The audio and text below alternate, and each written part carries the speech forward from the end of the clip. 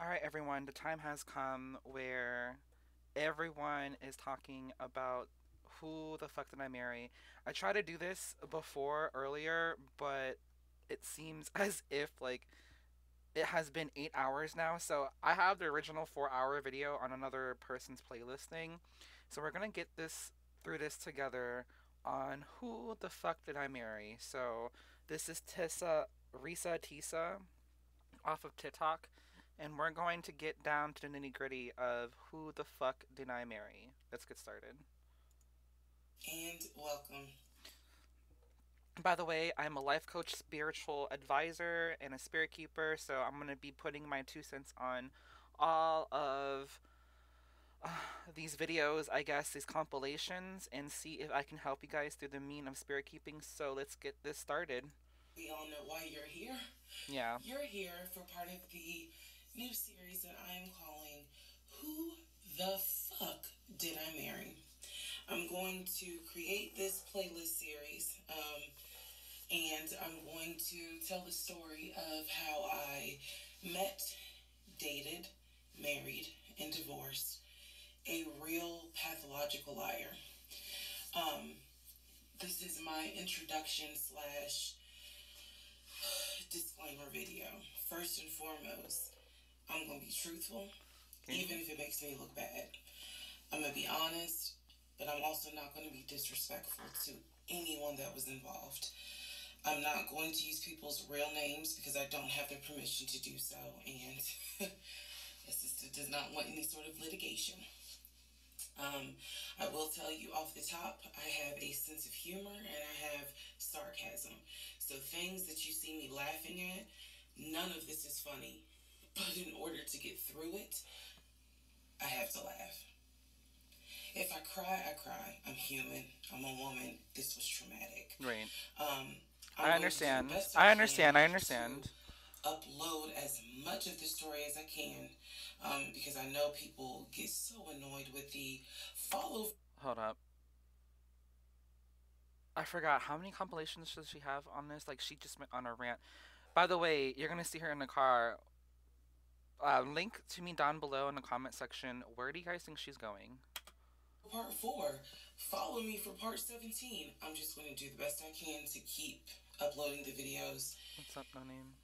Each at a time. Mark. I'm going to go in order from the time we met until the time I got our divorce decree in the mail. So that is a lot of time to cover. Please give me the grace to just get it out um, it may not be all in one day. It may not be all in two days. But what I can tell you is even if you don't necessarily necessarily see a video, I'm probably recording it and then I will upload it into the playlist titled Who the Fuck Did I Marry? um, what else do I need to cover ahead of time? Because I feel like this video is important to give some sort of context so that way when people jump into the series, they kind of can figure out, oh, let me start at the introduction video and then work my way through. Um, a lot of the questions that you all have sent me will be answered when I start and tell the story in order. Um, everything I'm going to tell you can be verified. There are people in my life who can easily verify yes, this did happen. Yes, he really did do that. Yes, he said that. Um, yes, she did go through that.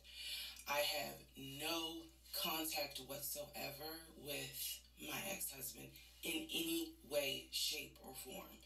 Um, we do not communicate. We do not have mutual friends or anything that we're, where we communicate through those people. No contact. I cannot stress that enough because I feel like somebody's going to ask me, Do you still talk to him? No. I ain't seen him. I ain't heard from him. I want to hear from him.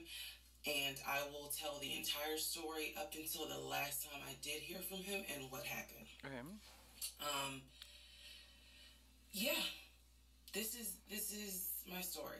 So, um, I am just a regular woman who thought she met the one, and I didn't. um, most people have never came in contact with a pathological liar. We typically come in contact with like a compulsive liar. If It is not the same. A pathological liar has no reason for why they lie. And the lies that they make up, there's no limit to the lie. Um, I was once a psychology major in undergrad. I didn't graduate with a psychology degree, but I'm very comfortable saying that he was a pathological liar. He was a narcissist. And yes, there yes. was some mental, in my opinion, mental health issues going on. Pathological lying part. I like the fact that she actually covered like both um, scenarios of pathological and chronic. Um, so kudos to her um, with this. I kind of want to see his reaction. I haven't seen any of these videos because I really wanted to record it for you guys on on live stream. So absolutely. Um, mm-hmm. So I want to preface all this by saying you're going to probably think, "What in the world? There's no way this happened." Everything you're going to hear me say actually did happen. Oh, yeah. Um, I never thought I was going to be in some sort of lifetime movie. Lifetime movie. I love I love the confidence with that Lifetime movie. Yeah, her series has been uh, uh, apparently incredible. I saw her. I didn't click on the interview, but I saw her with like one um a major hit of of the media and really good journalist. Um, credible, credible too. Pretty pretty much credible, and um, she looked fabulous. So I'm gonna go to those interviews too later down the road, but we're gonna get through all this first together. I was. Um, so I will read the comments as best I can. Like I said, I think if you allow me to tell the whole story, things will be answered. Okay. Um, and sorry, I do talk with my hands. It's just, it's a. I do too, sis. I do too. Like, why is she moving her hands? Um, other than that, let's all take a deep breath, buckle in, because this was a fucking crazy ride. And if you think it's crazy, imagine how I feel as the person who lived it and had no idea what I was dealing with.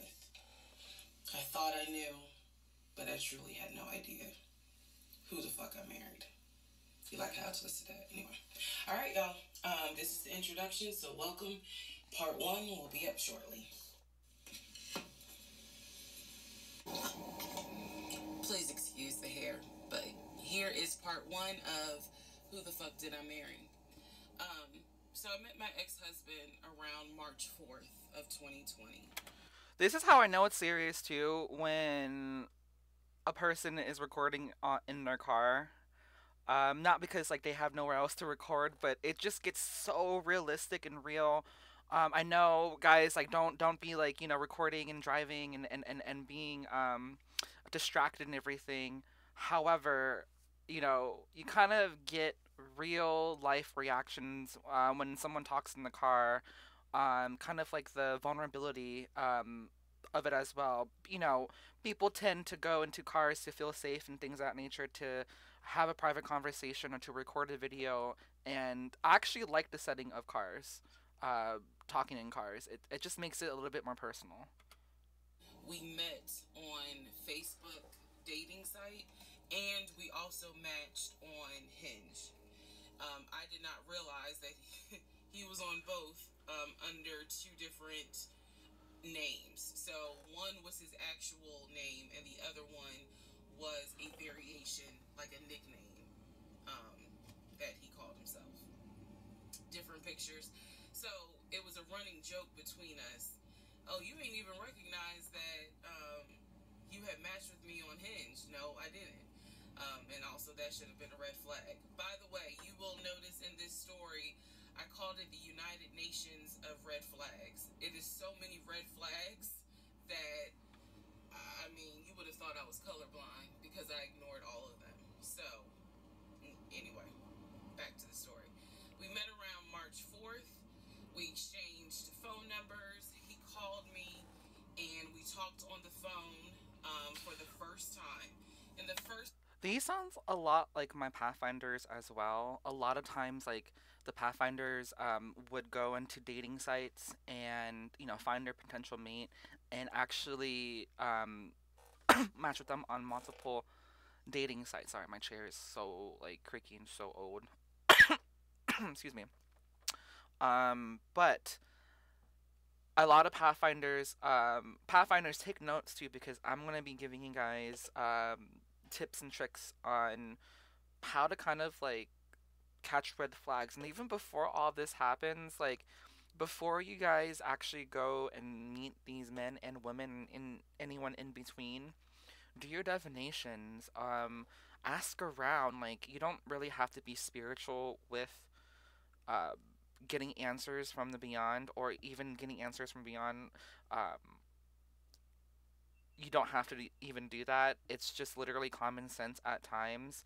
Um, usually, if you know someone by mutual friends, ask around, ask some questions, um, and try to do some like psychology conversations with these people who have been with your mate, by the way, or, or potential mate, or a person who um, you think gives out red flags.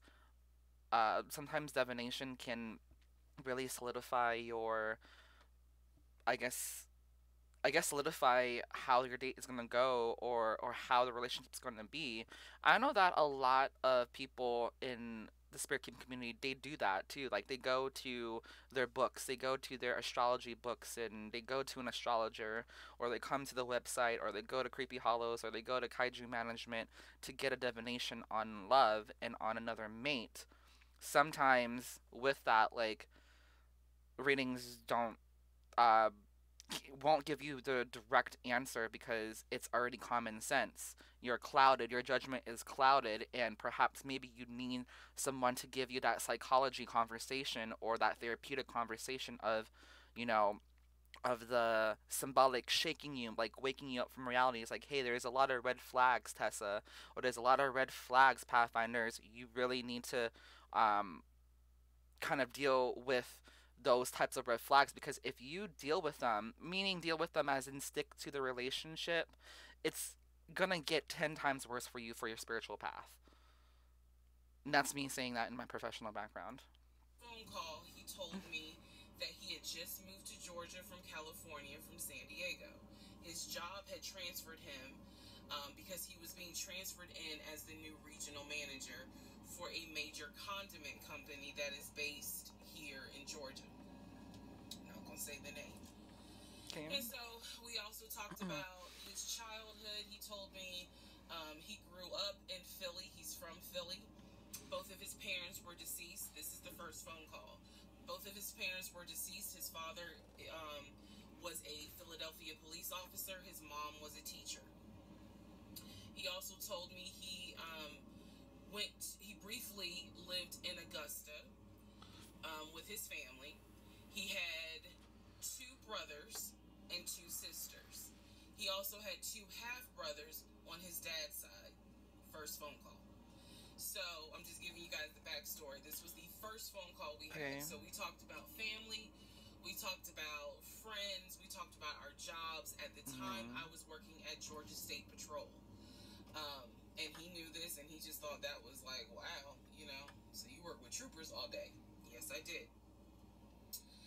Um, also in that phone call, he explained. Oh my God! Red flag number one. If if he, he thinks that's cool um, too, um, yeah, that is pretty cool that you work, you know, with with law enforcement and things of that nature. A lot of guys actually get threatened, and that's why they lie to females because they think that the female has a better position than they do, right? So a lot of times, as what I exhibit in my Pathfinders, a person can be let's say um, uh, one of the main uh, one of the significant others, the one that is a pathfinder, um, is a designer um, or is a uh, Etsy person, like like homemaker and things of that nature. Um, and with that homemaking comes hobbies, and usually um, with the hobby, sometimes like the ladies like okay, well, or uh, potentially like all the ladies or anyone in between um, would sell these type of hobby craft items on Etsy, and you know their significant other, usually their husband, sees that they're making all this success. more than what he's making and sometimes they're making into like five figures and six figures in sales because they're getting successful and a lot of times men feel threatened by female careers so i just want to let you guys know that and females just doing the damn thing or any feminine energy doing the damn thing so that's a red flag too he explained that he used to play arena football I know nothing about arena football. Um, I know about NFL. I know about college. Go dogs. But I don't know anything about arena football. So I don't know anything. To me that he used to play arena football. He used to work at Apple. Is arena football like you know like like football. like you go into like your local like you know like stadium center or like performance center, right? And then you play football. Like I'm thinking about like fant like like like fetish football, like girls in like booty shorts and like cami tank tops. You know, the voluptuous ones playing football or playing basketball. But uh, is that like an exhibition or like a, a like like or something like that? Like what is this arena football? I keep on hearing this because people kept on talking about arena football because of this video. So in the comment section below, what is arena football? I'm not gonna be googling that because I Kansas City Chiefs. Woo! Um, and I remember thinking on that phone call, oh, okay, you know, like, good for you. I don't know anything about arena football, and I believe I did tell him that I don't know anything about arena football. That'll come into play later on. So he told me, you know, I just I just moved here. Um, my job is paying for my housing, and they are helping me to look for a house. He was like, I'm trying right now. I'm in Gwinnett County, but I'm trying to look for a house ideally in Atlanta, like Brookhaven, um, Sandy Springs. He was like, I, I really would like to move out there. And so I thought, you know, this is, that's great. You know, you're looking to get a house, you just moved here. He was like, I don't really know too, too many people here because I spend all my time at work and, you know, this job is really demanding. Yeah. So that was our first phone call. We talked more. He talked a lot, which took me by surprise because I'm not really used to men talking more than me.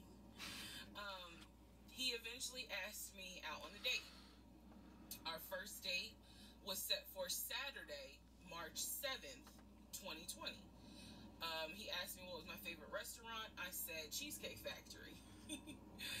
and so we agreed to go out um, at the Cheesecake Factory in a location that was in between. I lived in Clayton County at the time he lived in Gwinnett County. I realize that if you don't know anything about Metro Atlanta, that makes no sense.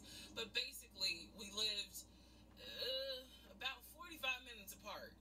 So we agreed to meet at the Cheesecake Factory over at Perimeter Mall, which is in an area, Sandy Springs, Dunwoody area. I was excited. Like I called my friends and was like, I got a date, you know, blah blah blah. We'll see how it goes first conversation was good. Um, hopefully he looks like his pictures because you know that's always an issue with online dating. Hopefully he looks like his pictures. So on my way to our date, I took 285 and literally right before I got to Boulder Crest, the exit for Boulder Crest, I heard a boom and I lost control of my car. Thank God that this, well, not thank God, but I knew what to do. So I did not crash, but my tire blew out. So I called him and I said, Hey, I am so sorry, but my tire just blew on 285. I'm slowly making my way off the exit. I believe I pulled into a Chevron gas station and I said, you know, I got to get this fixed. I don't know what to do. Like, I'm a damsel right. in distress kind of thing. He kind of paused, he got quiet, and he was like, you know, tell me exactly where you are, drop your pin. So I dropped the pin, and he came to the gas station. Came to the gas station, got out the car, okay. and I was I was so relieved that he actually looked like his pictures that I was like, oh my god, he's actually a- attractive because he's like okay. six four, six five. Um.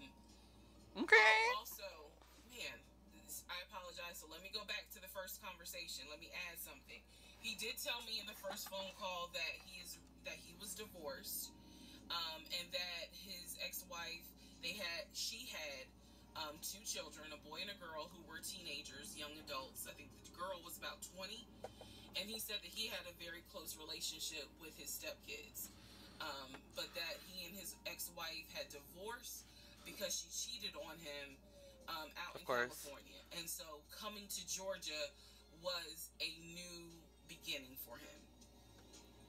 Did she? Did I remember her stating everything too from before that he had like he was with relationships with people with other children as like um, partners with other children as well.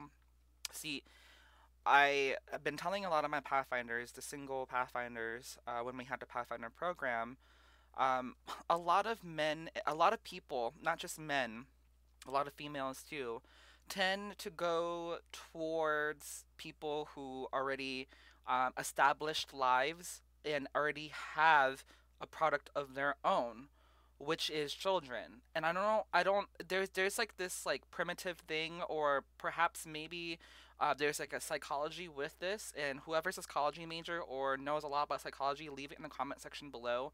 Um, but I have a lot of psychology friend, uh, psychologist friends.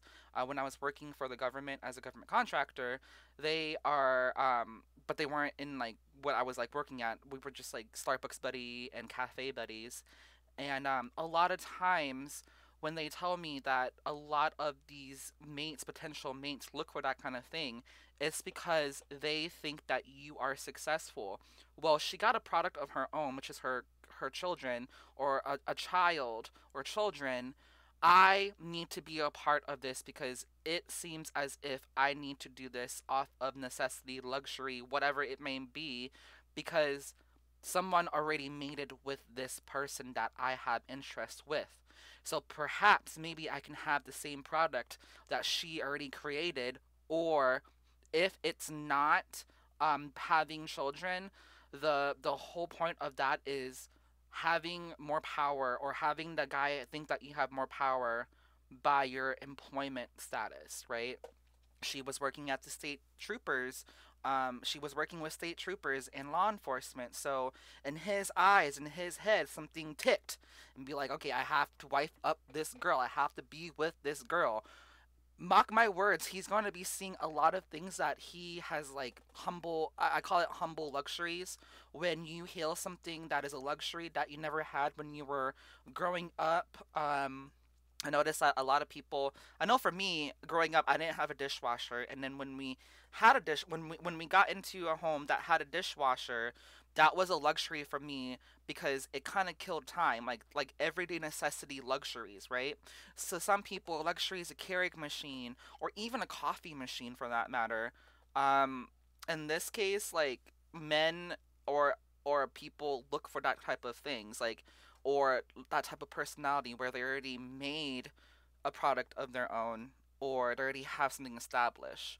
And that's always a red flag. Um, a lot of times like the dancers and the girls would come to me and they uh, and they have children. Uh, some of them have children and their their clients i guess i guess uh, wanted to mate with them because I guess they told them that they had children, and the more that a dancer like tells out, uh, kind of like exploits uh, exploits their lives, the more problematic that their job is going to be. So then I always had to diffuse things and be like, okay, well, don't tell him about your private life.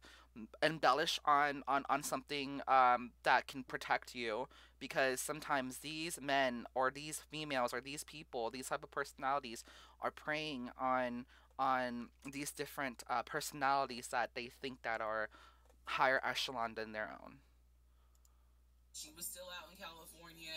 The kids were still out in California, um, and so you know he was like, "There's no, I, I can't stand her, but I still want to be in the kids' lives." I have to put that in there because that will come back later.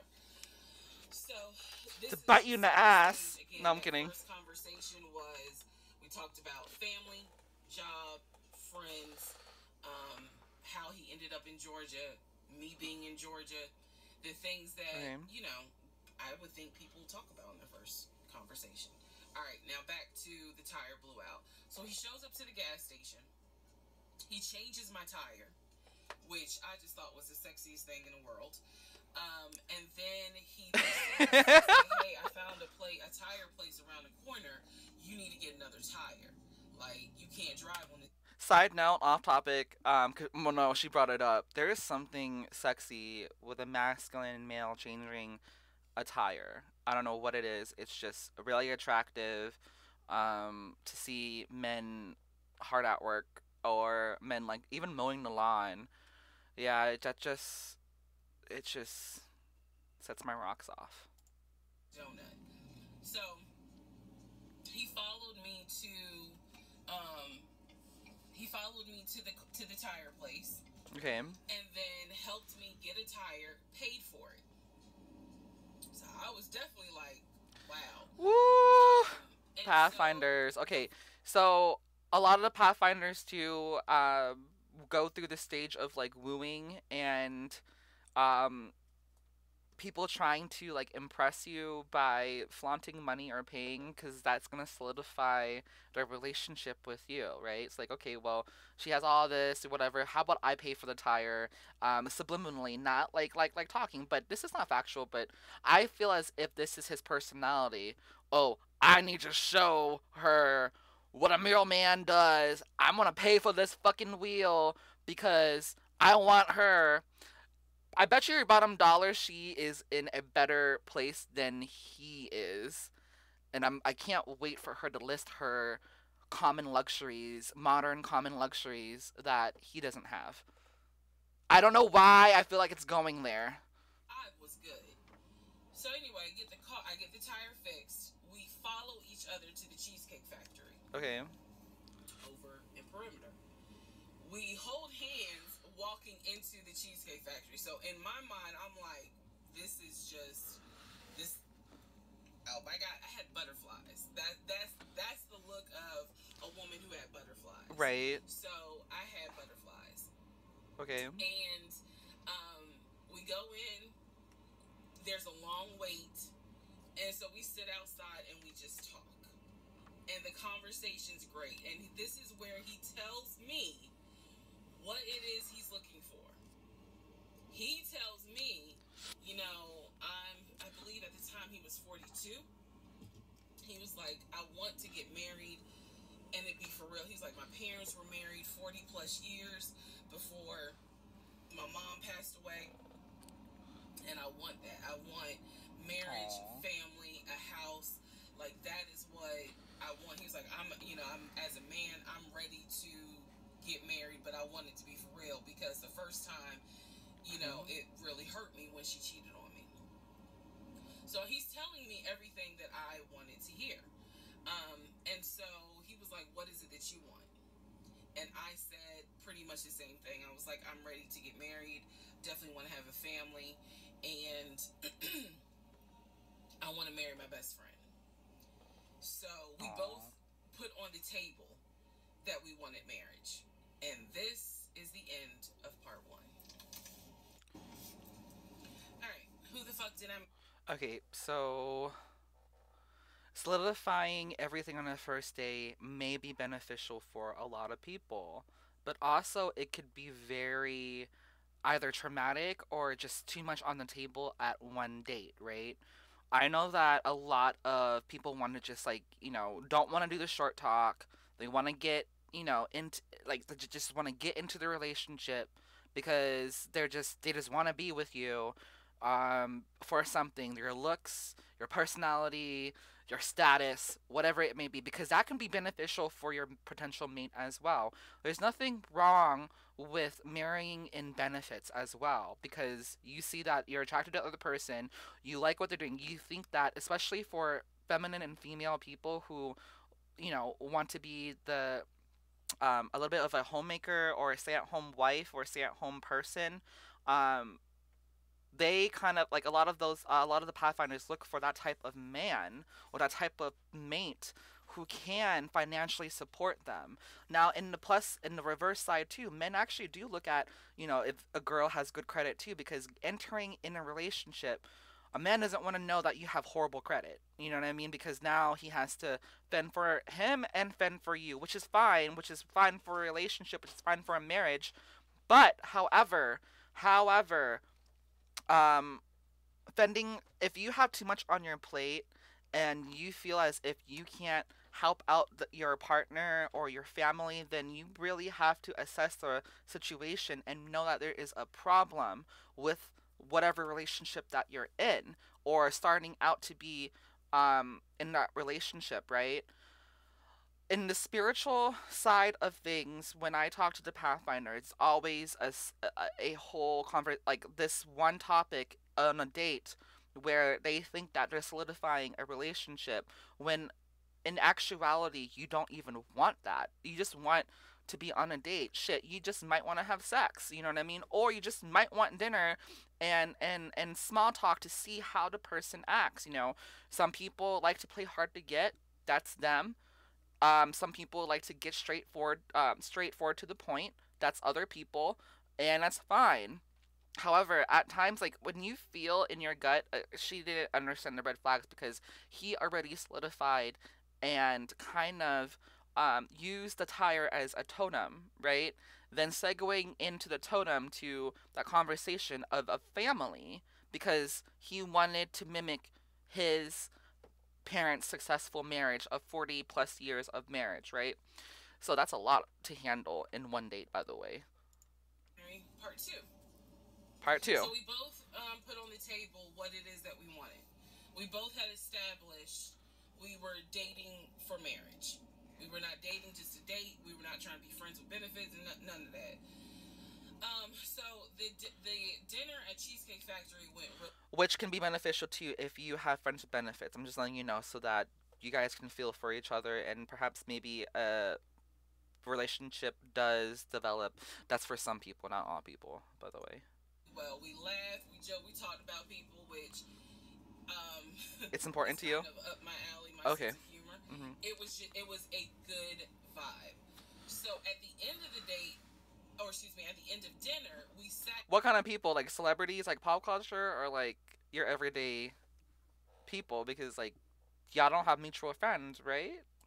His car, and he played this song for me by John Legend. I don't know the name of the song by the t- well, by the time this video posts, I will put the name at the bottom. I can't remember the song. I just remember that John Legend was talking about I think I met my wife tonight. And I thought it was a sign. So I was like, "Oh my god."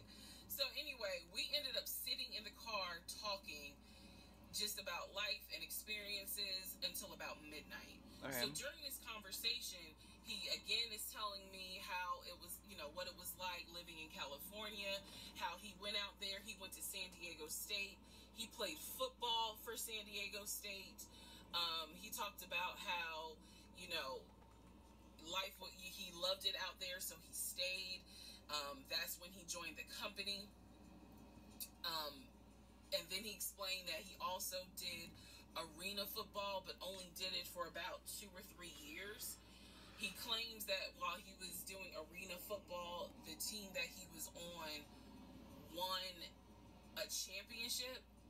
But again, keep in mind, I don't know anything about arena football. So I was like, okay, I didn't know that they had championships. And he was like, you know, he got a little offended, like, yeah, they got championships. And, you know, he was on that team. So he talked to me about how he worked at Apple. He worked um, something in the IT area of Apple, but it within the store. Again, it was one of those. It's like when I tell people. Okay, so.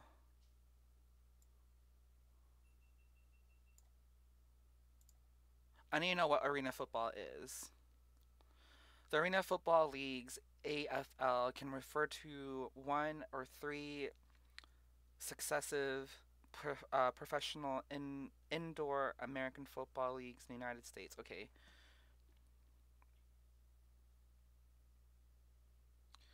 So it's indoor football. Whatever that means. I used to work at Amazon. I, I really wasn't paying much attention to it. Why? So we talked about all that. We talked about, uh, we talked deeply into what happened with the ex-wife. It's because I asked. Okay. was not volunteering all this information. So in other words, I, I get very uncomfortable when men start talking about their ex a lot.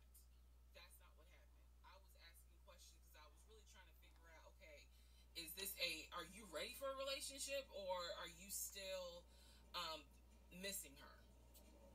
So we talked about that. We talked about my exes. That was a mistake I made because I talked about how I dated at one point in time somebody I worked with. That will come back later. Um, and he seemed real cool about it. He was like, you know, that was before me and blah, blah, blah. Um, so the conversation was good. Midnight comes and um, I go home. Mm-hmm. Yes, I went home. We ended up talking, talking, and talking. Mind you, our first date was March 7th. And within about two and a half weeks, Brian Kemp, our governor, shut Georgia down. We were about to, we were going to be on lockdown. So during those two and a half weeks, we talked every day. We went out again at Red Lobster. Um, I don't even. I remember Red Lobster. Um, but everything was going great. The issue Oops. was where are we going to quarantine? So the question was, are we going to quarantine at his place, which he had like a studio type of situation. Like it clearly where he was staying. Um, Wow. I was like, it's like a studio apartment, but he kept telling me like this is temporary because I'm looking That's suspicious. But I'm sure that he has a, another concocted excuse or explanation for why he's in the studio. for a house. Like he showed me he showed me the email from the from a woman who worked at the company where she was out on maternity leave but she was she was putting him in contact with a realtor to help him find a townhome or a single family house. So I was just like, okay, this is definitely temporary. Like he's not trying to Right. stay here. Right. term Right. and she was apologizing in the email. I'm so sorry, you know, this should have been taken care of before you got here, but it wasn't. Da da da da da. I saw the email. I saw the email. I read it. I read the email. Um, so the decision was: Are you? We're going to quarantine at the studio, or we are 20. Where is she driving to? Where is she going? Where is she driving to? quarantine in my house? First mistake I made. Well, there's a lot, but this was a mistake I made. So, Okay. ladies, caution moment. During one of our dates, um, because keep in mind, in those two weeks, we were seeing each other quite a bit.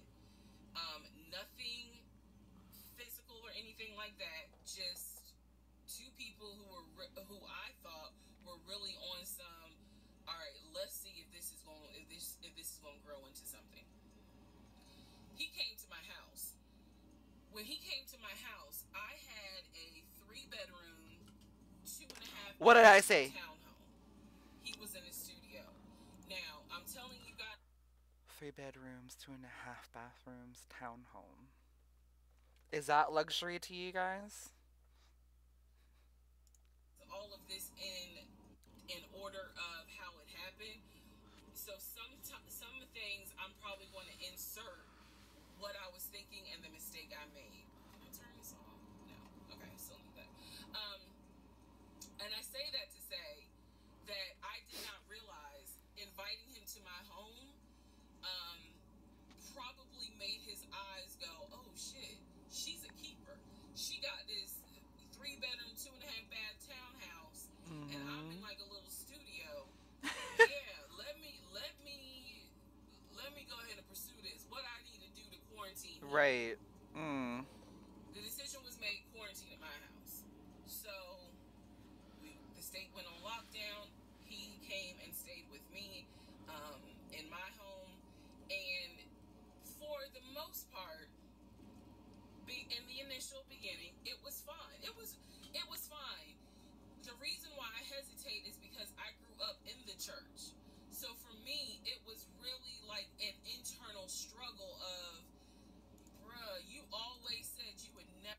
Okay, so a lot of times too, when it comes down to uh, people um, seeing your luxuries, uh, a lot of the Pathfinders too would bring in people into their lives where they would kind of leech, and especially during COVID season, and I always get these concierge messages from them saying like, you know, like I don't think that this is the right thing for me right now. Uh, I need to um, be by myself, or they kind of like thought about themselves, and then or they thought about the situations like okay my god i'm moving way too fast. We're not married yet. He's already i feel like he's already moving in.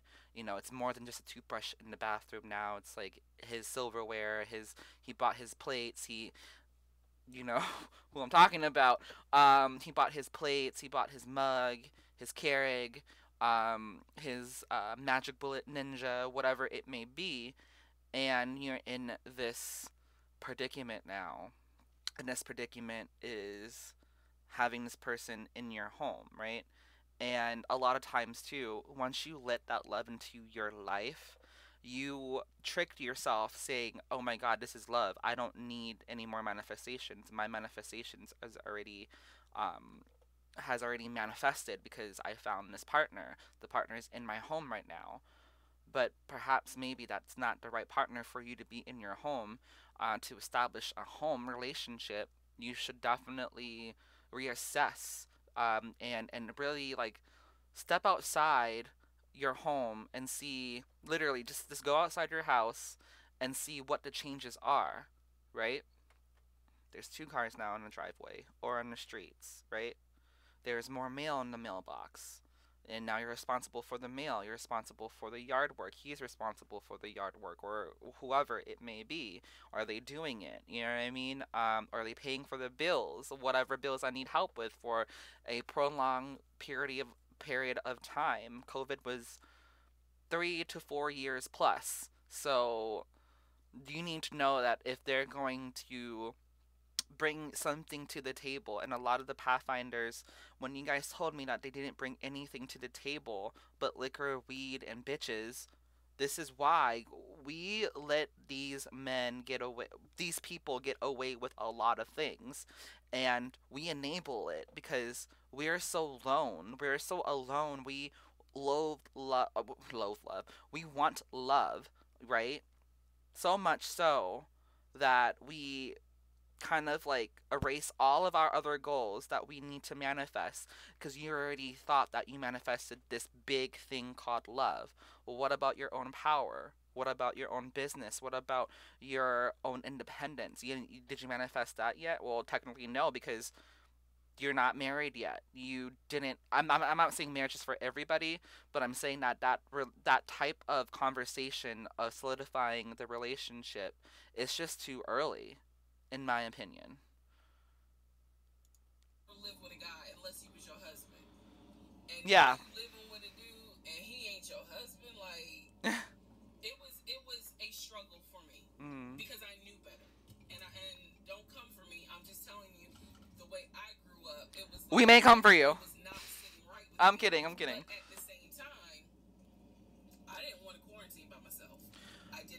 but also like I'm not trying to like like make it so that you guys feel stupid or anything like that. I dealt with that before um, and I internalized things and I wish I had as much courage as she to kind of like say all of that, you know what I mean?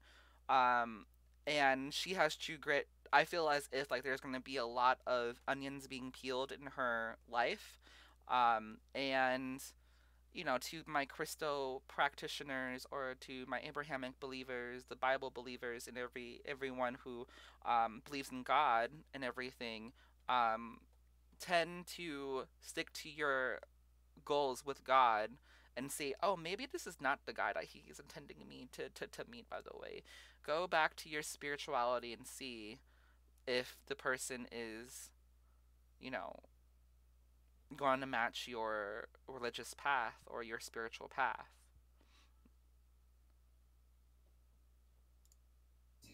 So there we go. Um, so he moved in.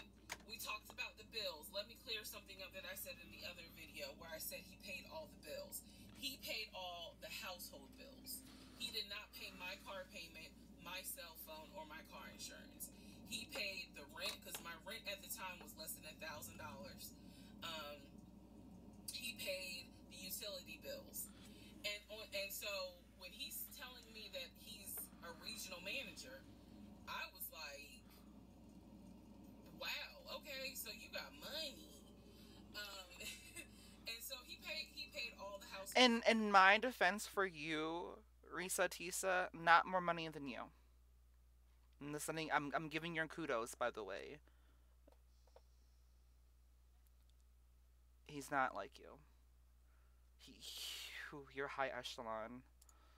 Bill, so my check really was just taking care of me, myself, and I. And I am not. This is where it's not gonna make me look good, but it's the truth. It was intoxicating to not have to worry financially about how to pay the bills. It was a wonderful. It's addictive. It is addictive. Um, but also it is a plant and payoff for him. I'll tell you why. Let's go back to the tire situation, alright? That fucking tire literally was the segue for him to pay the major, not major, well, yeah, majority of the bills, right? Instead of her car and her cell phone and other things. Um, who wouldn't get high off of that? And so I kind of pushed to the side the fact that, yeah, you shacking up. Because it's like, but your page, you don't have to worry right now. Like, he's he's taking care of all of April's bills before April even comes. Because this was still March. So we're living together. And I'm cooking, I'm cleaning, he's helping to cook and clean. And then we have a conversation about house. Is he still going to buy a house just for him? Or is he going to buy a house where it's for us? Because we are going to try to make this thing work, be official, get married. Okay, so he wants she wants to make it work and get married and everything. The fault on that is on you too because marriage takes two to decide on if you guys are gonna get married or not. So I guess she was dumbfounded and, and, and was on that high, you know, the, the, the honeymoon stage in ways of a relationship. Um, uh, a lot of the Pathfinders too, like during that time, a lot of them were buying homes too because they manifested the homes through the Pathfinder program, and I started to notice a, a lot of people were coming to their homes, uh, even in my sessions for Pathfinders, and things started to um, like like the names being written into the deed or there was a gas bill or a water bill that's under their mate's name and legally he once that happens legally uh, for equal um, housing opportunities and, and, and legally he's paying for the bill. So uh, men sometimes think oh do you want a gas bill to be paid for do you want an electric bill to be paid for your utilities once his name is on the bill and you try to kick him out sometimes the sheriff or the police department can't because he's contributing to your rent, right? Um, and at times too, there is a stipulation too where they're not on the lease, but they're paying for the the um, gas, electric, whatever utility bills that you have, and even for your rent.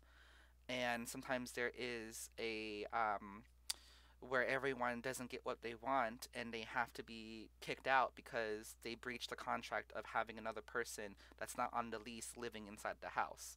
So you guys might think it's karma, you guys might think it's a ricocheted curse or something like that. In reality, it is your doing. It is your doing.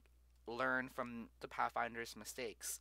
Learn from my mistakes too, because I had that happen before many, many times. So learn from our mistakes.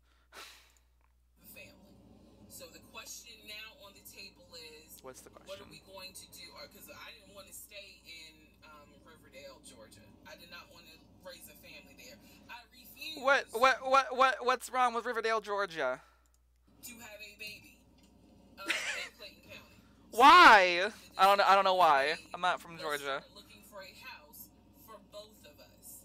Remember, he was already looking for a house for him, but then he was like, you know what? We're together. I plan to marry you. Let's look for a for a, a family home for the two of us. He was like, This is how much I was approved for. That's when he showed me the Chase paperwork. Um, it was a letter stating that he, and it had the Chase emblem at the top. He showed me a letter stating that he was approved for 700. And... All right, part three. Who the fuck did I marry? Oh, we're going to part three right now. Okay. Anyone in their right mind can show you paperwork. Anyone can embellish that paperwork too. Um, and anyone can make an email account um, and perhaps maybe incorporate under that email business address, right? So that's what I found out too with a lot of Pathfinders too that had these personalities uh, and them dating them where their money wasn't where their mouth is, basically. Let's see if this is the case. me a letter from Chase with the Chase logo at the top, stating that he had been approved for a mortgage for excuse me for a seven hundred and fifty thousand dollar mortgage or seven hundred and fifty thousand dollar house. So he was like, "We can't go over seven fifty. And I said, I remember ha- asking him, "Can you afford the mortgage on a seven hundred and fifty thousand dollar house? Because I know I can." This is when he explains to me, "I told you Um, not only that, to inflation. I think she's gonna go into inflation during COVID as well because there was a hot on uh, real estate as well because I mean, people. It was a financial crisis for the world basically, and it's a great thing that she asked that question. Um, an interest rate. Oh my God, like 700, 750,000 uh, interest rate went up. So a lot of the people who bought houses before um, the pa- uh, pandemic and uh, before um, the former president's administration, um, our interest rate is was one digit basically, and now it's like two digits, and I'm I'm really nervous with. I'm, I'm, I'm, this is going to be off topic right now, but I'm really nervous with um, real estate in in America, um, and particularly um, in the East Coast, West Coast, and the Southern. Like I'm not Midwest is fine, but like the where I grew up is East Coast, so in DC. So for me, like I'm seeing like a lot of rates going up. I'm seeing a lot of um, house being foreclosed in the neighborhood. I'm seeing a lot of people move out, moving to Texas, moving to Alaska, moving elsewhere outside of the country um, because cost of living in America is just so high and expensive, and we just put up with it. Um, and there is going to be perhaps maybe a journey for you know me and Alduin or and the family too, uh, where we just I honestly you know was was haunting you know a lot of things because of America because of what's going on in America.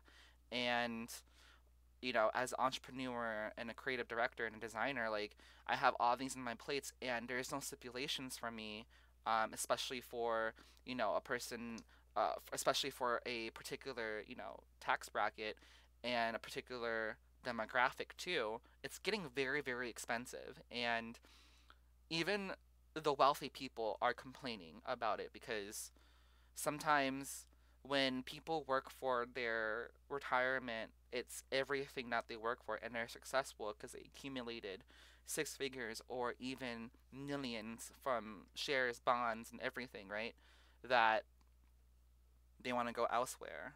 Um, and I'm saying this too, guys. Like, I feel as if um, soon, and you know, my beings can tell me this. By 2030, y'all need to make your mind up if you guys want to be in America. I'm letting you guys know that right now. 2030. I'm not saying that as a spiritual advisor or a life coach. I'm not financial I'm not a financial coach whatsoever. I don't have anything like that, but I am a consumer. I am a citizen and I pay taxes. And seeing all of these things that are going on in America is just very horrifying cuz like we don't know I, I honestly honestly when she asked that question a lot of people get offended because they're like, oh, you know, I can afford it. Man, men, a lot of men get offended. A lot masculine energies, y'all get offended um, when someone asks you those types of questions because you don't want to be challenged. Your alpha or your fire sign, whatever it is, um, is combating, you know, that question because you're asking that same question too. Can I afford this? Right? A lot of times we just have to think outside America. We have to uh, think outside our comfort zone. I know that my comfort zone is America. Like like my, my, my home is America. My home is the DMV. But I know that I can't raise children here. And a lot of people are saying that as well. Not only that, I cannot sustain life. We, a lot of people are like, I cannot sustain life in America. And this is coming from wealthy conservative people as well, where they are seeing that, okay, well, maybe I was part of the wrong bandwagon um, because, you know, nothing is being done right now. Not Trump's administration, not Biden's administration. And that's my opinion right there. So what do we do? We we can't be sheep, right? So we have to literally think outside the box. And not only that, like America, we uh, I like to pride America with like our freedoms and everything, but it's it's getting to a point where it's like selective this freedom and I'm seeing this, and and, and, and, and, and people are telling me about this, especially minority people and uh, people of color and, and, and people of pagan worshiping and, and, and people who don't think the Abrahamic beliefs and under God. They don't want to be here anymore. And a lot of the conservatives like, well, just get out, get the fuck out, right? Once we leave and once your resources are gone, because a lot of times you need diverse thinking to have these resources in America you guys are gonna be fucked, fucked beyond belief. Um, there's something that's brewing in America, and I don't even have to tell you guys that right now. Spiritually, it's it's it's in the news. It's it's it's it's. You think we are not in a war right now? Keep on thinking that way. Just keep on thinking that way. Um, and it might be a demographic thing too, but what I'm seeing, you know, when I go out on the streets and when, I, when I'm seeing like people protest and when, I, when I'm seeing um, the bigotry and the racism and, and stupid shit like that, I'm seeing that no one wants to change. I'm seeing that these these personalities don't want to change. What happens when they don't want to change? Well, they can die. Like they will. Like like that I think ignorance can it can't be a bliss sometimes. It you really have to think, and people in DC are thinking, and and especially in Maryland too, like where you know we pay our taxes, we have taxes on bags, we have and and and that was successful, apparently, in Montgomery County, but you're asking for more money. Where is that money going? a modern library, just one modern library in Silver Spring that's redid. An updated, one updated firehouse for two decades. You just updated one firehouse. You added bike lanes.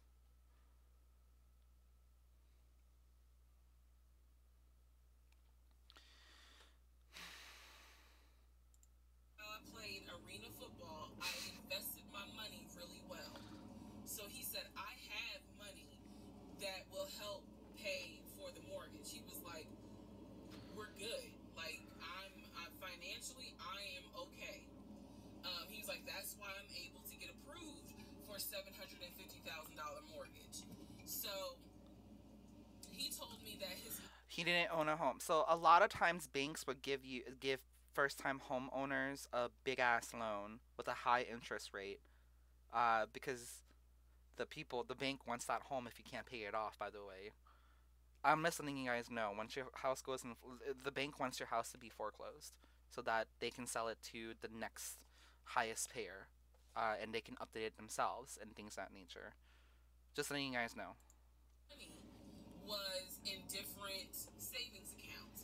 He said he had an account with Chase Bank, he had an account with U.S. Bank, and he had an offshore. No, I did not physically This is what he see the savings account. Well, you guys aren't married and you guys didn't establish that yet. You guys are too early in a relationship to see a fucking savings account.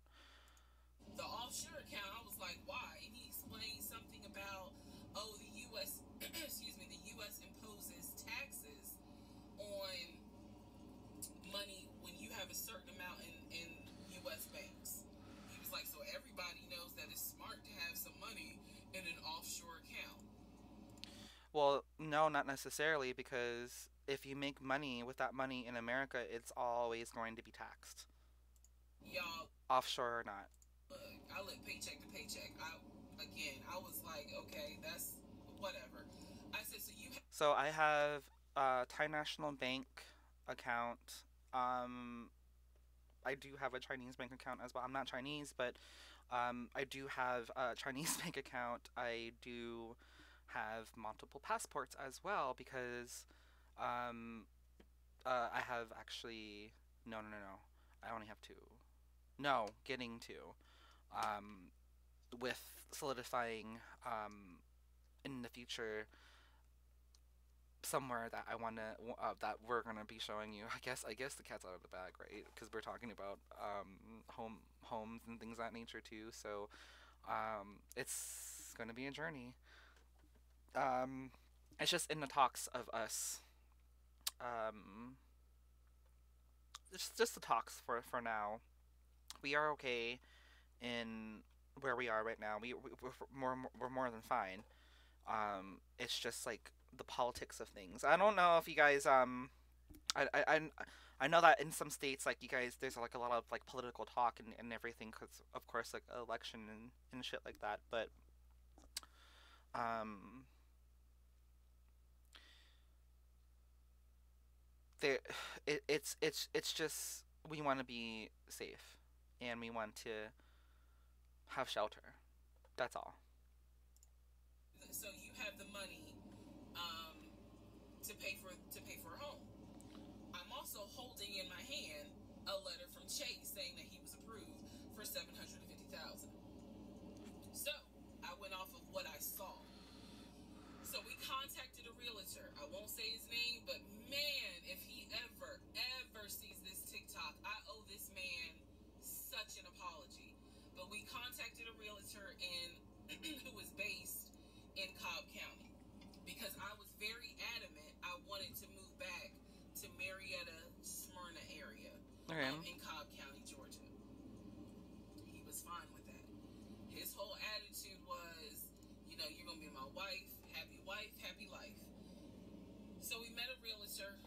I I would find houses that I wanted to tour. Keep in mind that um, this was COVID, so at the time we could not tour a home. It would have to it would have to be a virtual tour. So this particular realtor, we found a house in Douglasville, Georgia, not Cobb County, but nevertheless it's in Douglasville. I was fine with Douglasville. So we found a house in Douglasville, Georgia. The Okay. realtor did a um a, a uh, FaceTime tour of the house. Tour of the I could see us living there. He really liked the house. He was like, you know what, we'll put an offer in on the house. He was like, if you like it, because again, it was COVID, we weren't gonna be able to see the house in person because the family still living me. He put an offer in. I need to clarify some things he told me and the things that I actually saw. So for this house in Douglasville, he told me he was putting an offer in. The realtor would call me because one thing that the realtor told us, he was like, if the woman likes the house, typically the house is going to get bought. So he kind of dealt with me a bit more than he did my ex-husband. Um, and again, this is April 2020. This is before we got married. So at the time, he was my boyfriend. So the realtor was calling me and was like, "Hey, you know, I'm I'm I put the offer in, and what they're asking for And I, didn't know any. I don't. I did not know anything at this time about buying a house. So I was like, "Hey, you probably need to talk to him because I'm not even listed on the mortgage. Like from the paperwork I saw, it was Right. only in his name. Right. So he um he called him. I guess they talked. I was not there, um, but I'm assuming that they had talked. So the boyfriend is coming. My ex is coming home saying, "Yeah, I talked to so and so. I sent him over the paperwork. The offer was approved, and they are going to try to do a virtual closing. First, we got to do an inspection. If the inspection goes all well, then we have to do a virtual closing. He also told me that he put down earnest money on the home. He put down, I believe, five thousand. He said, "I I just transferred the money over to the realtor's uh, account or whatever, um, so that it could be earnest money for the house."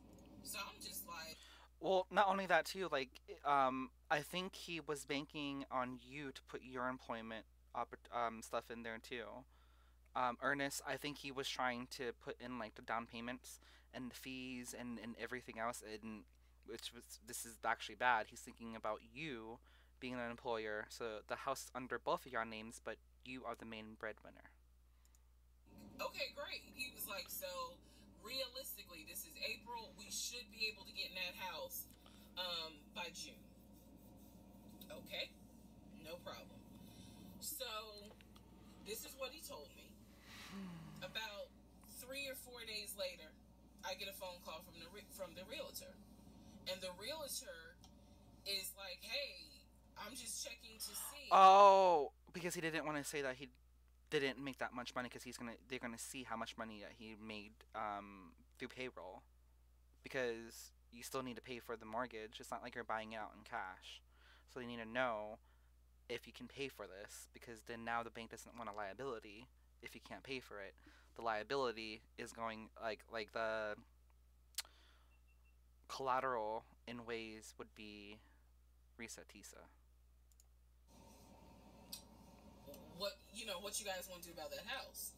So i was confused. I'm at work um, and i said oh I, I was told that he put an offer in. And the realtor was like he did? I didn't know that he put an offer in. And i said well why wouldn't you know? Like he told me he put the offer in and he um he had paid earnest money $5000 earnest money and so the realtor was like, "Well, let me call him and find out what's going on with that because I didn't know anything about it." So red flag, of course. So I call him and he's and he, in true narcissistic nature, he flips this. Okay, um, I have to say because Alduin and my father had to deal with the paperwork, so I don't know what earnest money is. Um, technically, according to okay, so this is Maryland. Um, what is the point of earnest money? Earnest. Okay, now I, I found the general one. Earnest money, um, or good faith deposit, uh, is a sum of money you put to demonstrate your seriousness of buying a home. Um, in most cases, the earnest money acts as deposit of the property you're looking to buy. So does it take away from the the house buy uh the, the house like payment like how much the um house cost guys if you guys can write it in the description box below or um is it just for that loan so that it could be modified for an extend, extended month or it does that not count too? Whoever is in real estate let me know because i am actually confused on what earnest pay is. I don't think we um, gave them earnest pay because we never i never heard of earnest pay. Um, um, i did get like like pay stubs because they need to know the the or like if you're an entrepreneur they have to see how much is coming in with your business uh, because we were doing payroll and then we were doing entrepreneur as well. And they saw that money was coming in on both ends so that's how we got the home. Like earnest pay i never heard of earnest pay is it always do they always say that? Is it for when people like is earnest pay like for people who is it is it granted for everybody or is it for people who they know realtors know and the bank knows that hey you don't make that much but can you send uh, like here here's the thing can you put at least t- uh, five to ten thousand dollars down right is it like that let me know and he like goes off. he's like cussing, going off like he shouldn't. Excuse me, I have the hiccups. He shouldn't be calling you. If he has a question, he should call me because I'm the one that's on the mortgage. He was like, and now it's you know it's gonna be an issue. And I said, well, did you put the offer in with him or not? And he said, no, I did not put the offer in with him. I put the offer in with a friend of mine who is a realtor, so I can give him the business. What? So I never, I did not hear from that realtor again. So I was just like, Confused. is the house under contract or is it not? He was like, yes, the house is under contract. This is what this is how crazy things work out. About three days later, on Realtor.com, I'm looking at the house because I was trying to figure out in my mind how I'm gonna decorate. It shows the house is under contract. So show my boyfriend. My boyfriend's like, I told you it was under contract. Okay, okay. So, so when a house is under contract, anyone can buy the house. The reason why it's like under contract is because I think anything can fall through. But there was an offer Ernie made, and maybe a check cleared, or two check clears, or maybe the whole like, check did clear. you not believe me? And I ain't had a heart to say, hell no, I didn't believe you. like, it seems too good to be true. Yeah. Um, but once I saw the house was under contract, I absolutely believe that, okay, this, it's under contract with him. Like, yeah, we're about to do inspection. We are about to move. Um, and so we had driven by the house because, again, keep in mind, the family's still living there. So we had driven by the house. At this point, he was like, I want us to start looking for furniture so that way we can go ahead and order it. So when, when it's time to move, the furniture is ready. Yeah, I don't. Did they get the house? I don't think so. But, um, ooh, was he nervous about it? Do you think like we had like get furniture, whatever? How? And then do you think he was internalizing it too, like in the dr- in the car drive, or in on like where he was it's like, how am I going to do this? Because you know it takes like six to eight weeks sometimes um, for furniture to be delivered if they don't have it as I'm I'm gonna be honest with you. I know a lot of um, people who trap and people who uh, don't have the cleanest record and people who uh, need help getting a home by their significant other and it works. They're in love with each other and everything. But that started out with honesty. By the way, it started out with honesty. I feel as if when he if he was honest with her, she's a really faithful girl. I think that the relationship would have been different when it came to buying a home. Because now the talks is if you guys establish that relationship, oh babe, this is Tessarissa. I see that there's a lot of shit going on in your life. Let me write the house to me because it's I'm earning the money for the house. Let I, I, I even if you know what's going on, try not to like tell that per- like but even if the person is really really trying or just bullshitting, right? Um, in this case, if the person is trying, um, and you seeing them try, you're seeing them work hard, and you're seeing, okay, well maybe you know there's not so much truth to what he is saying, and you want this relationship because you're seeing that this person is going to better off them lives, then their house should be written under your name because now it's your responsibility because you have that work record. You have that. I don't know if she was working at the time, but um, I know a lot of Uber drivers and um, task taskers and drive carriers, door dashers who bought their first home during COVID by making all that money by drive sharing. So, um, and they can buy a house with that because it is uh, income and it's taxed. uh, like he was he was very methodical in planning and saying this is what we need to do so we started going to home, home depot lowes um, because we had a printout of what the sellers were going to take. They were going to take the appliance. Home Depot, so you're getting appliances and what windows and stuff. he had a printout. Let me Mm. be clear. He had a printout. So it said on there that they were going to take the appliances So we needed to get a new stove, Okay. um, new refrigerator, new microwave, all that stuff. So we went to Home Depot and Lowe's, and I I went ham. I chose all these new appliances, and here's where we get into the shopping. All right, part four. So we go to Home Depot, we go to Lowe's. Choosing all these appliances. I already, I already know what's gonna go on. Let me. May comes and obviously. Oh, May comes now. Hold on. So April, I didn't think anything of it because again, I saw all these things that I wanted. Again, he's taking pictures of it. He was like, I can go online and order it. Cool thing. It was like, oh, because of COVID, they're trying to get someone to do the inspection. But the guy that they had, it was always something. The guy they had caught COVID, so they're going to have to get somebody crazy. And I, it was some something just made I would just start talking about what's on my mind.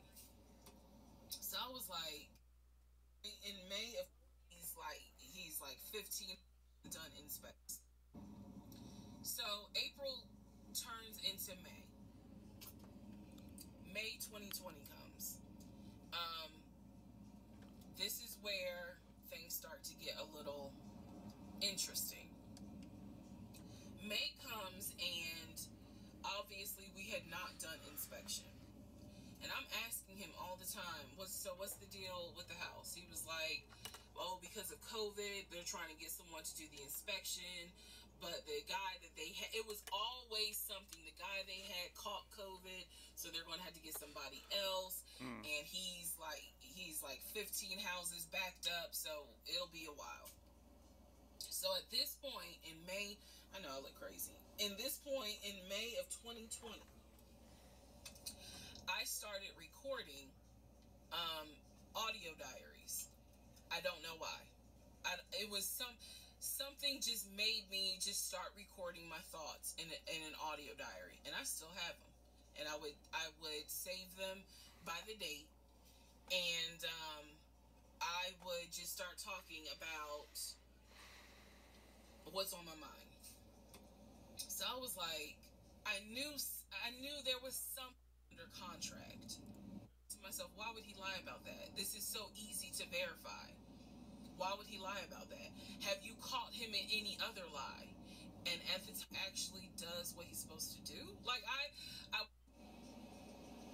around mid May, I found out I was pregnant. May 2020. When I found out I was pregnant, he was ecstatic and I was like, oh shit. The reason why I was oh shit is because number one, I'm plus size. Number two, because of my age, I was, I, I felt like it was probably gonna be a high risk pregnancy. Um, and I wasn't married. And that nagged, I cannot tell y'all how much it nagged me. There was a lot of internal struggle in between. My family didn't even know that he had moved in at this point. I told them, you know, that I was pregnant. Um, went to the doctor. Everything looked good. Um, again, because it was COVID, he couldn't go in with me um, into the actual room. So, you know, doing any sort of ultrasound, doing the blood test, because my HCG levels were really high. So the doctor was like, hey, it might be twins. We don't know yet. Um, you're still kind of early, you know, along. Um, they gave me a due date. Due date was January 26th of 2021. Um, so yeah, uh, May found out I was pregnant. So there was now more of a push into we got to get a house. We got to get find out what's going on with this house. And so he was very he was on top of it. He had an answer for everything. Um, he was like, you know, I'm gonna call and find out what's going on, blah blah blah. Um, he then magically told me about a week later, oh, they're going to do inspection on the on the house like in two days. So I was just like, okay, keep her back, then we will know what you know. I guess they did an inspection. He showed me an inspection report. only thing that they said that the roof had just recently been replaced, which he I remember he was very happy about. Then he said that we told me it was going to be a virtual closing where um, you would. And so, anyone that knows me will tell you I hate moving. I've done it enough in my life. I hate moving, but I did not start. So men like this will procrastinate the shit out of any deal um, when they know that they don't have anything. I know that I was like played a lot too, like with like friends. Like, okay, do you have this item that I told you you're having? Do you do? Um, especially like when I was growing up too. Like, I I think um people were like trying to like like verse like where their upbringing what um are and things that nature. So like, you know, they would make like all this excuse of why they don't have this particular item or particular home. And they would make up all these excuses and all these excuses. And then you know when the divine gives you the delivery and that's a baby it's it's scary. It's it's scary for a lot of people packing up that house at all i was just like you know i'm pregnant my body was changing so fast mm-hmm. that it was like i can barely keep my eyes open half the day um and so, no, I didn't start a relationship. I don't. Why would he lie about this? Like, who makes up that they're buying a house when in fact they're not? Mm-hmm. And then he's showing you all this paperwork. Like, come on, you can't be that jaded that you don't right. even believe what's in part five. Who the fuck did I marry? So I'm questioning all this stuff in my head out loud on my audio diaries. And then once again, I'm like, but look at what you look at what he's giving you. Like he's paying he it wasn't a question about money. It was just an excuse with him. Involved the way I should have be honest with y'all, I was not expecting that I was probably going to have a healthy pregnancy because normal relationship would be involved. To June. I'm just fast forwarding this, guys, because like it is four hours. Like, let me just um. Around June fifth, I looked at the house again on Realtor.com. I don't know what made me do it, other than, I know that people are like, you know, you may or may not believe in God, but I'm telling you, I believe with all my heart probably the Holy Spirit was like, look at that house on realtor.com. So I looked at the house on realtor.com. This was around June 5th. It showed that the house was off the market. And I remember being like, okay, wait, what, is, what does that mean? What, what does that mean? Because ex-husband is telling me we're about to close on the house. We're about to close. It's our house. We got furniture, da da da da da da da da. Um, he's also telling me that he's been in contact with the realtor, his friend, who was telling him, you know, this is what was happening next. Here's what's going on. So the guy that we initially worked with apparently is completely out of the picture. But again, I was not heavily involved. So I'm just like, let me look at the house. I see it's off market for the seller. I don't remember her name. I called her and I said, you know, my excuse me, I said my husband and I, even though I wasn't married, my husband and I were looking at this house at 123 Main Street. And we really wanted to tour it, but now I'm showing it's off market. Is it not available? Or, you know, I, I pulled that card. And she was like, oh, no, ma'am. Um, the home closed yesterday. It closed June 4th. Again, there are certain dates I just remember. Um, wow. And I said, oh, it closed June 4th? I was like, really? um, and she said, yes, ma'am. She was like, um, my, my sellers sold the house. And I was like, oh, man, okay. Well, I said, my really wanted, you know, we love the pictures of it and we're getting ready to start a family. So I would have loved to have been able to, you know, have the opportunity to see it. I asked her something. I don't remember the specific question I asked her. And I don't even, I, I know why I asked the question because I was anticipating that my boyfriend at the time was going to have some sort of excuse. So I asked her something about the buyers. And I remember, I, and somehow, again, forgive me, I don't remember the question I asked her. But the answer was that it was an older white couple. Older white couple. So I get off the phone with her. I record an audio diary, and in the audio diary, I specifically say, okay, there is no house. He's going to have to get out of this. Now I realize, Yeah. at the very least, Yeah. he was lying about um, him being the one who was under contract. I knew enough. That is crazy. Oh my gosh. I want to know how that Okay. went. So I was like, I literally said in that audio diary, Okay. "You're about to have a baby with bullshit." Most, and he said some bullshit. Appliances. Said it was so calm, and he was like, "Okay, interest rate." I said, "You know what? If because something's going on." And he said he came home. He didn't really say anything that day. The next day, I asked him about Oh, so that day he didn't say anything when he came back home. So the next day, okay. house. What, June 6th? and he said, "My friend, the realtor, he was like, I'm talking to him because something's going on with the interest rate." And when he said that, I felt so much relief because I knew that I had been prepared for he's gonna give you some bullshit. So when he said there's something with the interest rate, I said, you know what? If the int- this is literally what I said, y'all. If the interest rate isn't good, then we shouldn't move there. We should probably cancel whatever furniture. He's gonna agree to that. He's gonna agree to that. He's gonna agree to that. And let's just look for another house. I said I would like to be moved before the end of the year.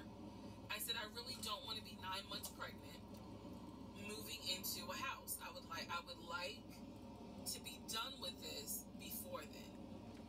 And he was he the way I said it was so calm, and he was like, okay. He was like, I'm gonna call the friend, the realtor, and tell him I'm backing out of the house, and I'm gonna see if I can get my earnest money back.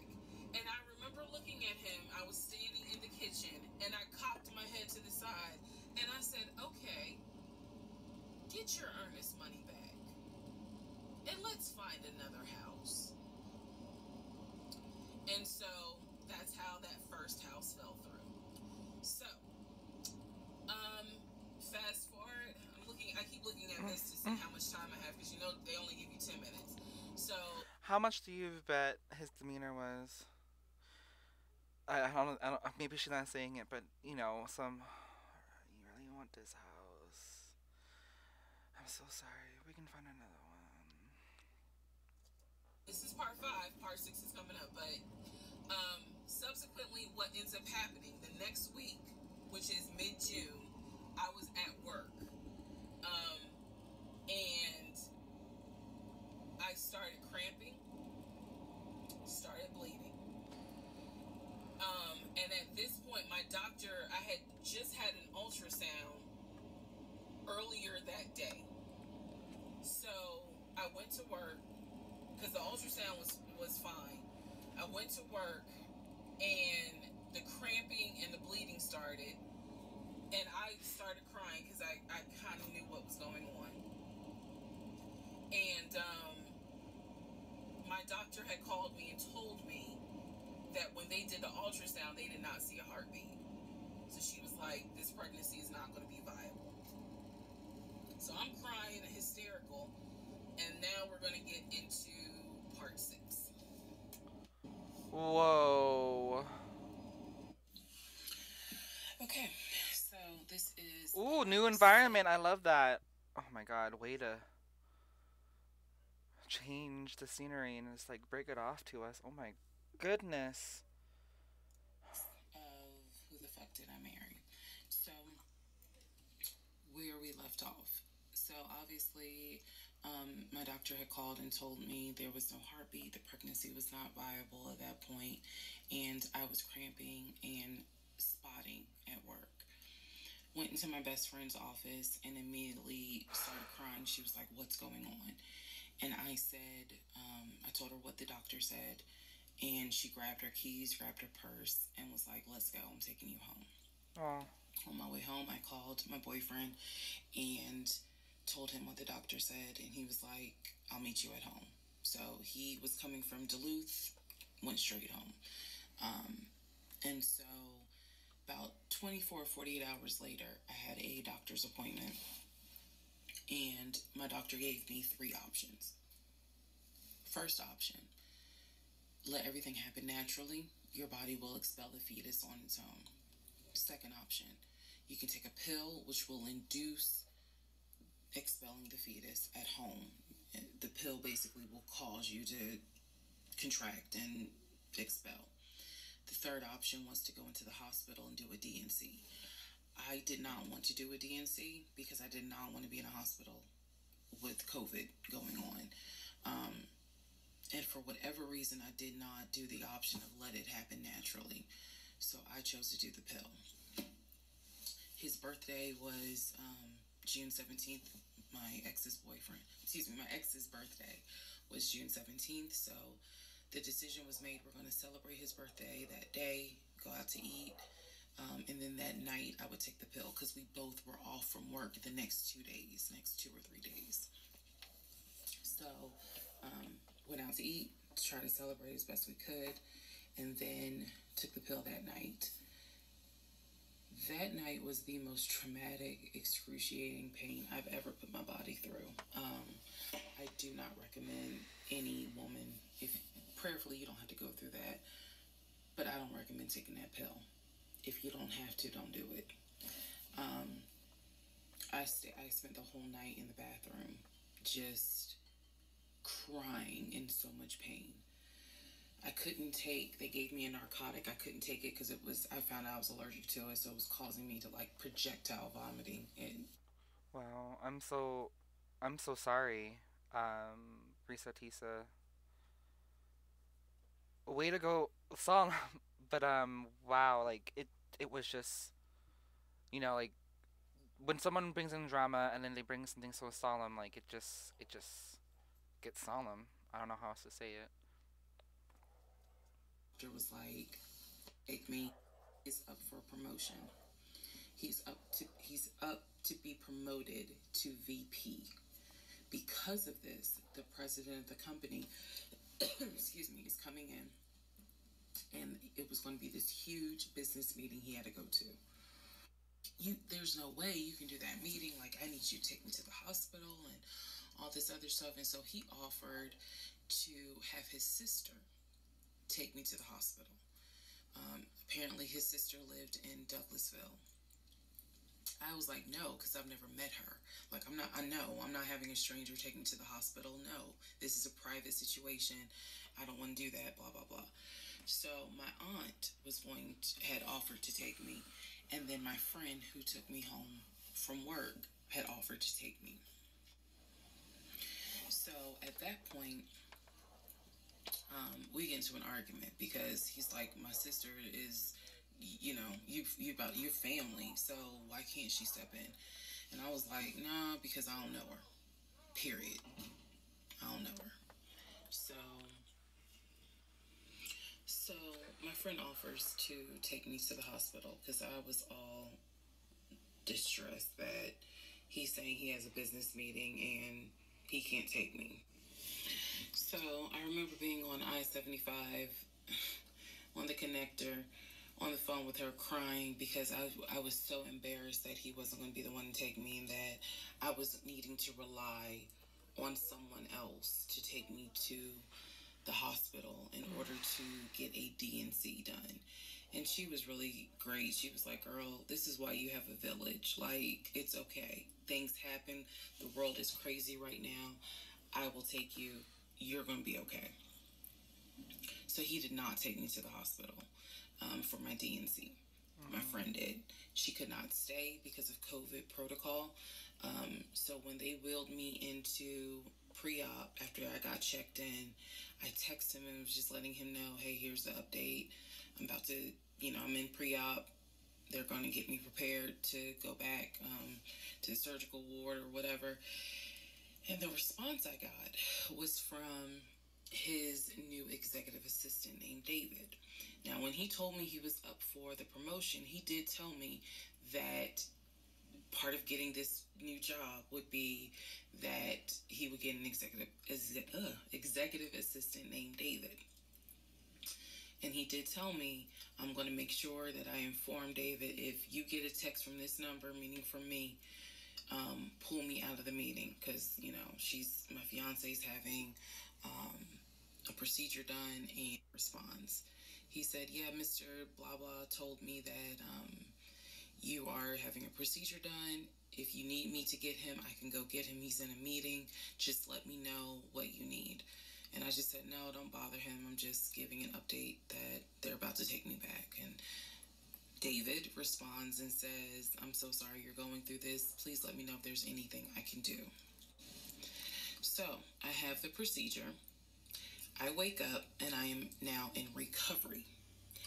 I should be in recovery 45 minutes up to an hour and a half. I wake up, first thing I ask, and I remember asking, is where is so and so? The nurse who was so sweet, you know, she was like, everything went well. Um, you're doing great. She said, We spoke to your fiance. He's on his way. So I said, okay, you know, okay. I kind of dozed back out, but I could still hear everything that was going on. I just could not keep my eyes open to save my life. So I hear her talk to the other nurse, and that's when she said, yeah, um, Dr. So and so called her fiance, and his executive assistant picked up. And the executive assistant said that he was in a business meeting and that, um, you know, you could relay to him what you need to say, and he'll, you know, tell Mr he'll tell the fiance. And my doctor was like, hell no, HIPAA. Um, I need to speak to him. Exactly. So apparently, my fiance called the doctor back about 30 minutes later. And the doctor informed him she'll be ready to be discharged in about an hour. You know, you can make your way and come pick her up. He said he was on his way. He was on his way from Duluth to Atlanta, which is not a huge distance, but the time of day, one thing about Atlanta, there's always traffic. So, yeah. I he heard. should have been there within the hour. I should have only been in recovery an hour and a half. Let's go to the next part. Okay, so let's see if I can seek it to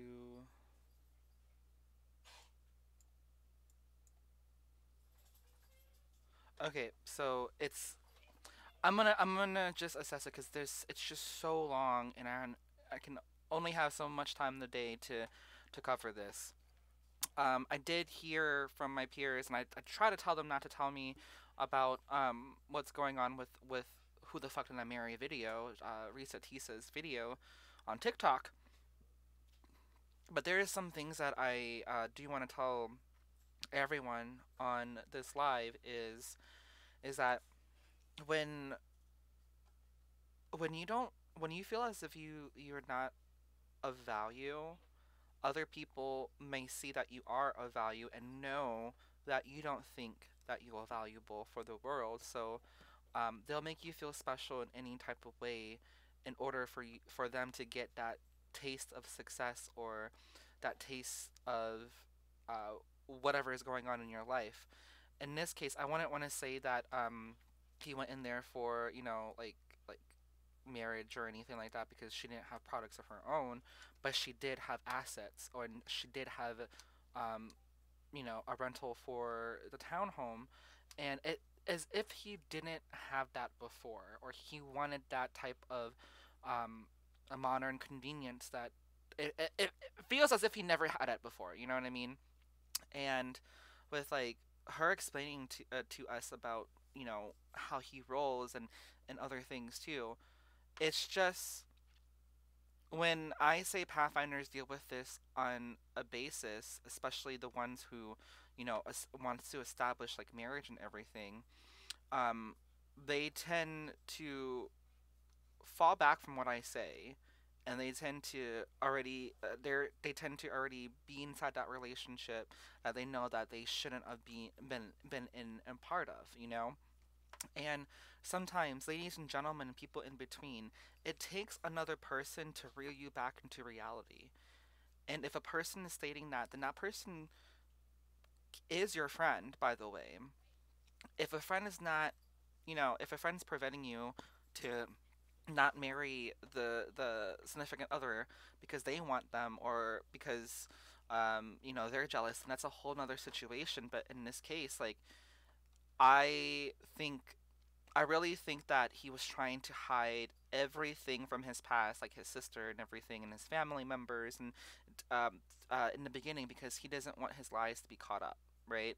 And sometimes like when uh, uh, prime example for for me like i had like a lot of peer back in the day i had a lot of peers that you know would try to one up me because of the vehicle that i was driving you know a luxury vehicle that i was driving or uh, perhaps maybe it was the latest handbag that i was carrying and the, the the the gentleman knows what it is and gentleman seems to you know say like okay well if this person is has this stuff i want to fuck her or i want to be with her you know i want to put a baby in her because i can solidify me being a part of her life so that maybe i can weasel my way inside of her or his or their lives right and it's really really problematic learn from her lesson guys look at her videos and learn from her because she's actually a really really wise and knowledgeable teacher when it comes to this type of bullshit. Um, men and people and people in general are opportunists. A lot of people are opportunists, and you have to find out these all these red flags. Does it make sense what the person is saying? And not only that, especially if you're buying a house, like you take the steps into buying your house because that is your house too you take that responsibility. Don't give that responsibility to the next person, uh, to to your partner, because it's a you situation now. It's not just him. It's not just her. It's not just your children. It's your decision as well. So I know that this is like really long winded. I'm so sorry, guys, but that is my take on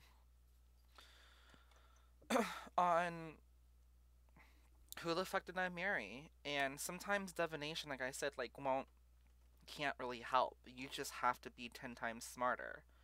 Um, I'm gonna have to say that you can use divination, you can get outside help, but why don't you use your power? Why don't you use your knowledge and and your intellect and see these red flags and be like, including now, look at your marriage and see are these are are there red flags? Am I happy? Are my kids happy? Um, and and and and see if his lifestyle is different than his family, or or or, or their their lifestyle is different than home lifestyle. Because if you don't know a lot that's going on in your partner's life, like if they are, you know, going out with their friends and you never seen their friends or you never seen their family, then that's a red flag right there that you really have to let them go because it's very very detrimental in y'all's relationship on what goes on uh, on what's going on um uh when it comes down to an, a relation when it comes down to someone in your personal circle uh, personal bubble now which is your home because you don't want that personality to dictate your life one or um, stress out your life because the person is lying to you pathologically and now it is a routine for them because the routine is him having all of these other backbones, plan Bs when he gets caught. And employers too, potential employers too. When you kind of see these, especially if you're in an admin or managerial like like um, uh, position, you can utilize these types of personalities to to hire. You know, is his money where his mouth is? Are the resume current? Can I call at least uh, two of his references and see if you know they say positive things. Can i do i can i get a business address? Can i get a business email for these references? You know what i mean? Is this person really skillful? Because when i hire him or her will they will i have to be doing more of the teaching and tasking?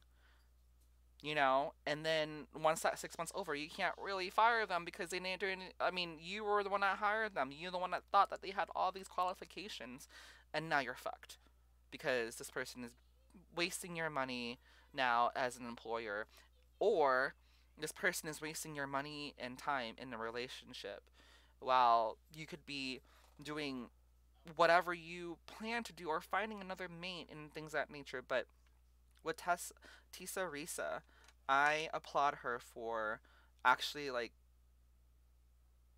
stepping out of her comfort zone because she just had it. This woman right here, like, had it. She had it um, with the bullshit that he was doing, and I and I, I did see a lot too. That he did a re- rebuttal video on TikTok saying that everything is false. But she has the receipts. She has everything already. And I know, you know, I wish her the best. Of course, I wish her every. You know what? I wish her the world. To her husband, she doesn't want, you know, negative strife, but I wish him the best in the most difficult way. Um, yeah, I, I wish his I wish him the best, and I wish, and his life is just going to be ten times more difficult. Um, now since she's in the picture. Remember, girl, Teesa Reesa, and other people who are like her, Pathfinders too. Y'all got the power. Y'all have the power in y'all's court, basically, y'all's hand and you really have to utilize that. Don't be naive. This is not the 1950s anymore, where we have to get court uh, courtship from from um, men and, and, and, and the wooing stage and shit like that. No, modern times, modern proportions. That's not what we do anymore. That's not what we do.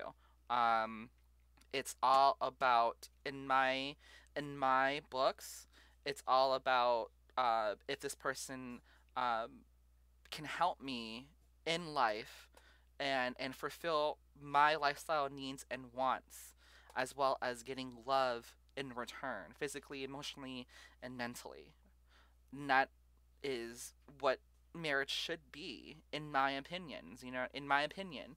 Um, and there's more too that i have that that i kind of that i'm gonna be missing but i'm gonna be watching this for entertainment and actually um, perhaps maybe I, I you know can reference this uh, do another live stream on this for a part two but i don't think I, I i don't think i should because i think we all get the gist of um pathological liars and we get the gist of um narcissism. And a lot of times narcissists too to the pathfinders who are dating a narcissist in this situation as well uh, for you know starting a family or starting a home um, uh, a lot of times these pathological liars and these um, narcissists are just um, trying to are just trying to drain all of your financial wealth that you gained. And sometimes they don't care about um, the love that you think they're providing for you. Hold on. I don't want to say that. I don't want to say that he doesn't love her. You know what I mean? I don't want to say that. I don't know them. But if those four letter words is easy for a motherfucking narcissist to control you, they're going to be using that a lot. Um, just letting you guys know. So that's it. That's all I conclude with this. Um, there are different types of techniques and different, I guess, um, advice that I can give you guys to spiritually that can help you guys with this. Of course, you divination. um, and sometimes do divination when you guys do do a full embodied search on your potential mate too. Um, perhaps like maybe the record is like you kind of iffy. Is like okay, maybe, um, you know, like like maybe the record is like oh my god, like like what did he do? Like why is this on his record right now? Let me just do a divination, um, and see. And perhaps maybe that divination is going to explain his excuse on why that is on there, and it could be a good excuse as well. You know, it could it, it could be excusable, but um, just make sure that you know you stick to your gut and you stick to um, your intuition and you uh, don't do that actually no because you can die from that too from crazy ass motherfucker. Just notice the red flags that she stated and that i stated on this live stream. Just know those red flags and that is your way out. Um, another thing too is uh, a lot of times people get like um, succubus beings and vampiric beings and siren beings for this purpose of controlling a narcissist as well. And that is definitely vital, vital to a lot of spirit keepers and a lot of spiritual practitioners. They will get these type of beings because they need to have their partner at bay. And I know a lot, a lot of you guys are like, well, it's going against their wills and everything. Um, you guys are in spirit keeping, especially if you guys get dark arts or black arts. Like, it's a left hand path type of thing. So if the keep, if your being is wanting to protect you and is doing all these things, it's tasked to do all that thing. I don't want to be the bearer of bad news, but it's tasked to do that. Um, it's deed uh, spiritually, and if the being um, is, you know, giving him a certain type of illness or maybe his employment is is horrible now because of what you did um, because you know that the truth is that he's not or she's not the person that is telling you what their employment, you know, are, then of course, like, you know, let loose. I know that the beings are gonna let loose on them because they're trying to protect you, and a lot of times, spirit keepers are usually, um, you know, I I feel like sometimes spirit keepers, um, they kind of like they don't double down you know, they just have excuses for people because just loathe love and they're lonely. And this is why a lot of spirit keepers and a lot of spiritual practitioners are baroque and that are seeking love and are feeling lonely because your guys are getting fucking tools as people that are that you're interested in relationship. These motherfuckers are not sometimes they're not in there for love. They're in there because they're looking for a home in general. They're looking for a home so that they can think about what their next move is with you, but that next move might be a decade with with with you because you know they're a creature of habit. I know this for a fact that narcissists are a creature of uh, of habit due to the fact that what she um, explained in all my other peers too. He did a rebuttal video and he's not saying anything that he did wrong. And in fact, I don't know even know why he did a rebuttal video on that.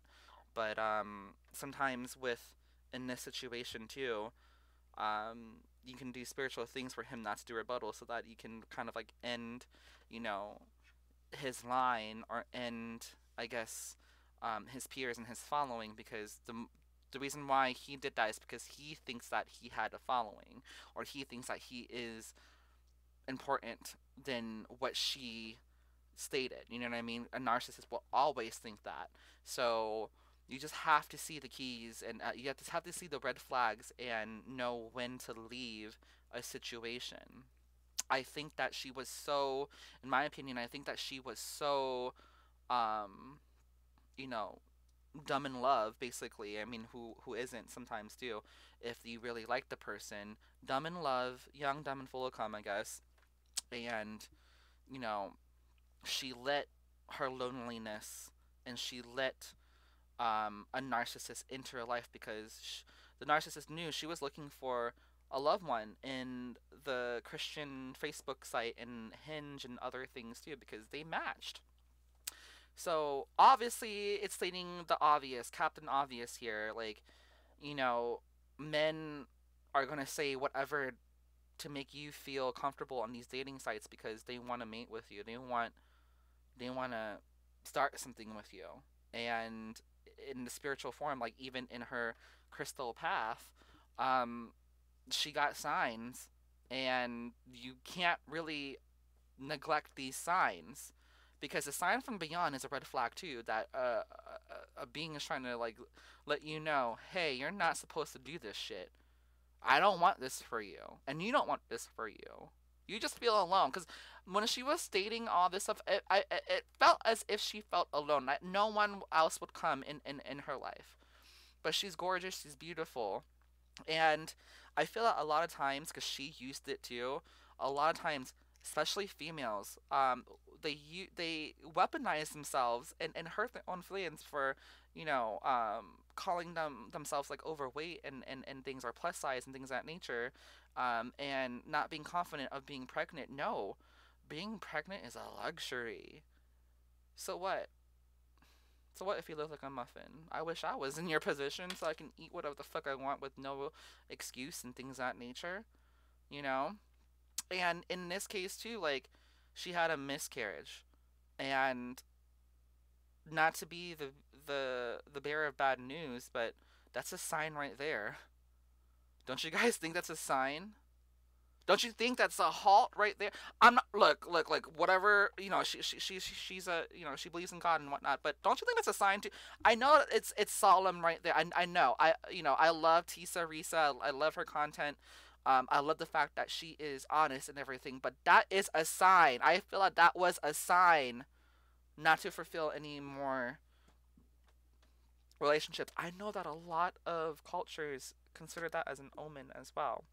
And I don't want to remind, um, you know, uh, females about about that. You know, if if you guys did go through that, but it's something that maybe like for her, I feel like he may weaponize that as well, or that may come in the future, um, because he's doing a lot of things that he shouldn't be doing. Like, oh shit, like she did this video, I shouldn't say anything. You know, she did go through two miscarriages.